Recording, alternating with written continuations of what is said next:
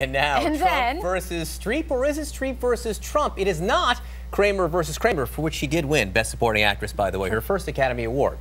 It's the actress's discussion of Donald Trump at the Golden Globes last night. It inspired some, it incensed others. It came as Meryl Streep accepted the Cecil B. DeMille Lifetime Achievement Award. Watch this.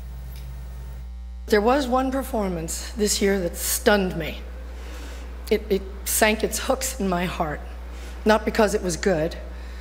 It was, there was nothing good about it. But it was effective and it did its job. It made its intended audience laugh and show their teeth.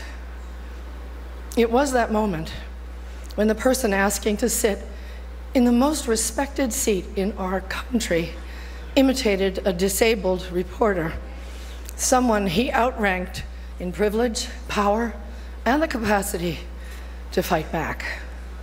It, kind of broke my heart when I saw it, and I still can't get it out of my head because it wasn't in a movie, it was real life.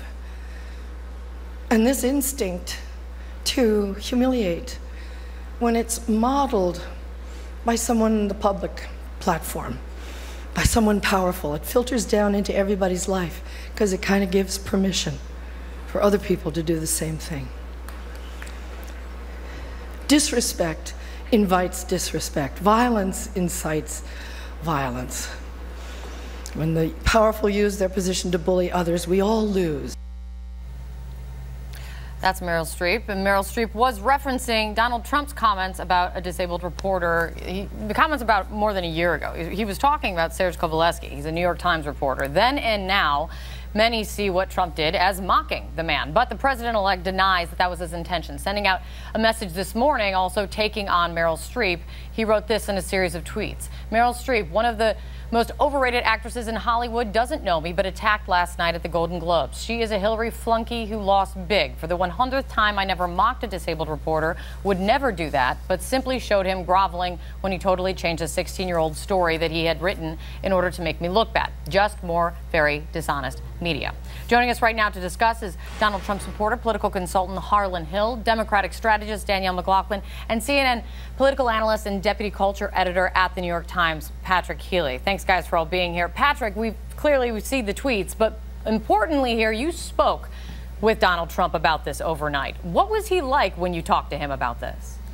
Sure. I was uh, working on our Golden Globes coverage here at the Times and decided, you know, why not try to reach him and see what he has to say about about Meryl Streep. So uh, I called him up. He answered, and he hadn't uh, watched the Globes. He hadn't uh, seen the speech, or he said heard about the speech at that point.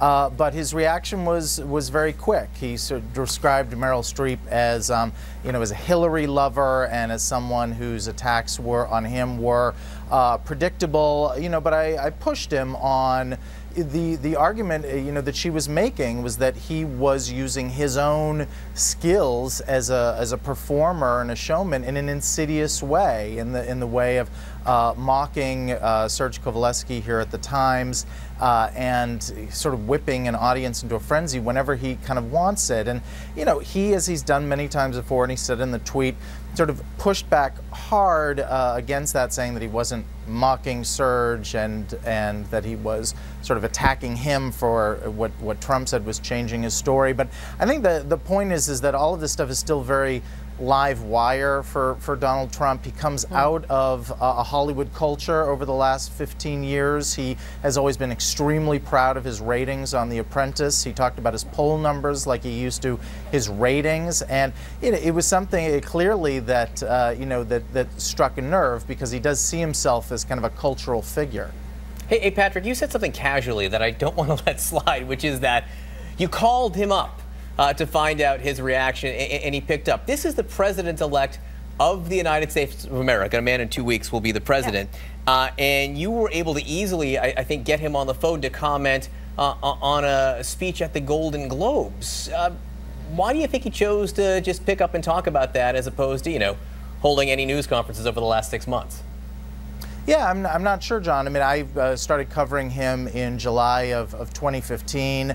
Uh, you know, as you do, as many journalists do, we, we have uh, phone numbers, cell phone numbers, home phone numbers of sources. Uh, as you know, John, when you call a source every day on their cell phone at 11 p.m., eventually they block you and they don't pick up. So we try to be a little bit strategic here. Now that I'm deputy culture editor, uh, and I was covering the Golden Globes.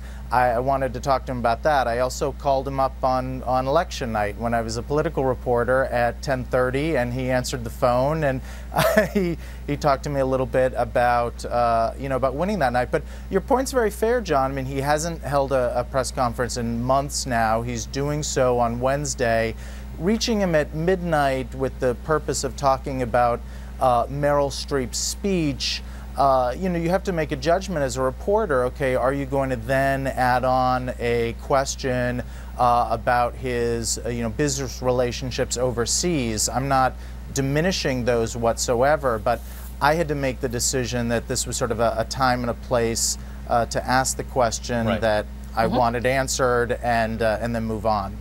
Yeah, Harlan, what's your reaction to Meryl Streep and how Donald Trump reacted speaking to Patrick about it at length last night and then taking to Twitter to continue the discussion this morning. Well, I'll say none of this surprises me. Uh, while Meryl Streep was busy politicizing the Golden Globes last night, Hillary Clinton was a couple of blocks from where we sit right now um, at a Broadway performance, and she received several standing ovations from the crowd. Went on for, for 10 minutes or something like that. And I think that that perfectly illustrates the perfect metaphor for the divide in this country. The coastal elites live in a bubble, whether it's LA, people like Meryl Streep and Hollywood elites, or us here in New York. And there are many people in the in the in the middle Keep of America. Going, but this is this in the is heartland, video of there it is right there in the heartland of America that are really suffering. Their jobs are not sufficient. They haven't had pay increases in years. Uh, they fear that ISIS is metastasizing and that it poses a threat here in the United States. And and you know Meryl Streep had an opportunity if she's going to politicize this event to talk about things that actually affect everyday Americans, not this ridiculous.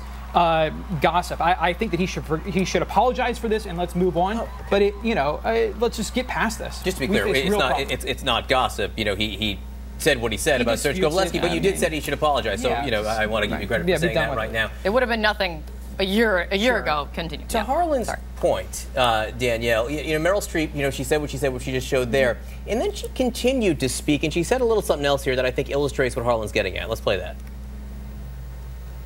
So Hollywood is crawling with outsiders and foreigners, and if we kick them all out, you'll have nothing to watch but football and mixed martial arts, which are not the arts. So I don't like the formulation where you call certain Americans real Americans and not others. Or if you're a coastal elite, you can't like football. But isn't that type of language, that part right there, when she's talking about football and mixed martial arts, why does it have to be separate from loving Hollywood in the film? I think you're right, and I think of everything that she said in that speech, I think that was one thing that she probably could have taken out or taken back what she was talking about was empathy. She talked about the Hollywood foreign press, right? So she's talking about this idea that actors on a daily basis, what they do is they walk in the shoes of other people. And that is what you do when you're empathetic. She was talking about this notion of Donald Trump as a reality TV personality and this interesting confluence between reality and performance because he created a persona, he campaigned on a persona. But what that persona did in November 2015 was absolutely and disgracefully mock a reporter. The next thing that he did he's never taken it back and he's never acknowledged it. And you think about the things that Trump has done over over the years. He mocked Carly Fiorina for her face. He did the same thing uh, to Ted Cruz's wife. He called Hillary Clinton not presidential. And the saying goes, you know, show me who you are and I'll believe you. So his pushback to Meryl was, she doesn't know me. But what we saw for months in the campaign and for a decade prior was a, a person who was willing to latch on to a physical characteristic uh, and make a mockery of it. And she stood up to that. And I think that's something that isn't necessarily political, but it's human. So maybe this, maybe, maybe not. This comes up in a press conference uh, that is scheduled for, for Wednesday. We will see. Uh, not only if the question is asked, but if the press conference will happen at all. Um, what Trump are we going to see, do you think? When you talk about, you know, Danielle's kind of getting at like two Trumps. He doesn't know me, it, you know, but what Trump are we going to see? Well, he said, you know, when he accepted victory on election night, he said that he wanted to be a president for everyone. And I hope that that's the tone that he strikes on inauguration day. But he's fighting against some real forces that I don't think are totally fair to him. You have people in the media, which Meryl Streep touched on last night, calling him literally Hitler. They are comparing the president elect of the United States to Hitler. And I think that if she's talking about giving license to violence, that sort of rhetoric, which has become mainstream in the media, is totally unacceptable. People at the New York Times, Meryl even Streep people on this network that. have said Meryl that. Streep didn't say ahead, that Patrick. though. Meryl Streep, no, Meryl Streep didn't say. That. I think we need to. She didn't even mention Trump by name. Clearly, she was talking uh, about him, and she made different sort of strategic decisions in there. But uh, having covered uh, the Globes, having covered you know Hollywood, uh, no one. Uh, you would think. In a way, there could be a very sort of predictable, full frontal name calling assault. But what Meryl Streep was pointing out was what a lot of journalists and voters saw, which was that Donald Trump had a way of, of reaching his audience, of communicating, of performing at his rallies that were incredibly well attended, that was effective. And from her point of view, it was uh, effective in the worst possible way. That he divided people, he riled people up, showed their teeth, you know, for instance. But the We- name I calling, I, disagree mean, Hitler. We got to go. I'm, I'm sorry, Harlan. I, Okay. I, I like both your points here. Wednesday, news conference. A few weeks after that, Meryl Streep will be nominated for another Academy Award because it happens at this time every year. So stay tuned for both of those events. John taking on Meryl Streep.